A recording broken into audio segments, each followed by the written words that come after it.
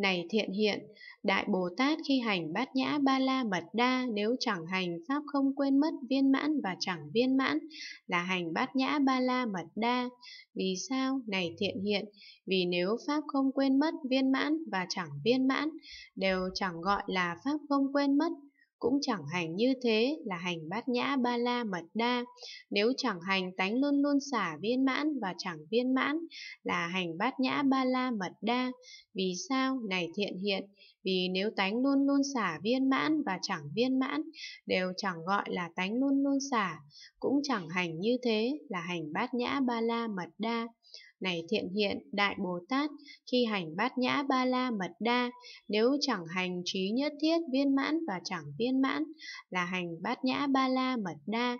Vì sao? Này thiện hiện, vì nếu trí nhất thiết viên mãn và chẳng viên mãn đều chẳng gọi là trí nhất thiết, cũng chẳng hành như thế là hành bát nhã ba la mật đa. Nếu chẳng hành trí đạo tướng trí nhất thiết tướng viên mãn và chẳng viên mãn là hành bát nhã ba la mật đa. Vì sao? Này thiện hiện, vì nếu trí đạo tướng trí nhất thiết tướng viên mãn và chẳng viên mãn đều chẳng gọi là trí đạo tướng trí nhất thiết tướng cũng chẳng hành như thế là hành bát nhã ba la mật đa. Này thiện hiện Đại Bồ Tát khi hành bát nhã ba la mật đa, nếu chẳng hành tất cả pháp môn đà la ni viên mãn và chẳng viên mãn là hành bát nhã ba la mật đa. Vì sao? Này thiện hiện, vì nếu tất cả pháp môn Đà La Ni viên mãn và chẳng viên mãn đều chẳng gọi là tất cả pháp môn Đà La Ni, cũng chẳng hành như thế là hành bát nhã ba la mật đa. Nếu chẳng hành tất cả pháp môn Tam Ma Địa viên mãn và chẳng viên mãn là hành bát nhã ba la mật đa. Vì sao? Này thiện hiện, vì nếu tất cả pháp môn Tam Ma Địa viên mãn và chẳng viên mãn đều chẳng gọi là tất cả pháp môn Tam Ma Địa cũng chẳng hành như thế là hành bát nhã ba la mật đa.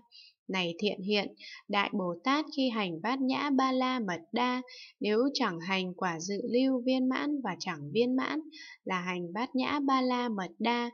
Vì sao? Này thiện hiện, vì nếu quả dự lưu viên mãn và chẳng viên mãn đều chẳng gọi là quả dự lưu, cũng chẳng hành như thế là hành bát nhã ba la mật đa. Nếu chẳng hành quả nhất lai bất hoàn a la hán viên mãn và chẳng viên mãn là hành bát nhã ba la mật đa.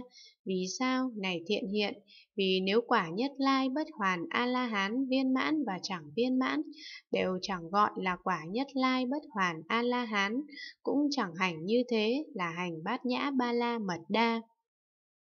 Này thiện hiện, Đại Bồ Tát khi hành bát nhã ba la mật đa, nếu chẳng hành quả vị độc giác viên mãn và chẳng viên mãn là hành bát nhã ba la mật đa.